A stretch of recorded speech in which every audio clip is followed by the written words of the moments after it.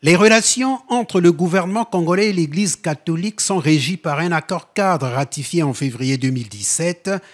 Dans cet accord cadre, les deux parties, tout en veillant à l'autonomie et à l'indépendance qui leur sont propres, s'engagent à collaborer pour le bien-être spirituel et matériel de l'homme en faveur du bien commun. C'est cette collaboration qui était au menu des entretiens entre les deux personnalités. Nous avons renouvelé notre intentionnalité de la Saint-Siège d'établir des lignes de partenariat avec l'État congolais pour eh, l'implémentation de l'accord cadre, c'est-à-dire les questions sur l'éducation, la santé et l'assistance spirituelle à les forces la disponibilité est grande et nous devons commencer de Le nonce apostolique Javier Herrera Corona s'est réjoui de l'occasion que le Premier ministre lui a donnée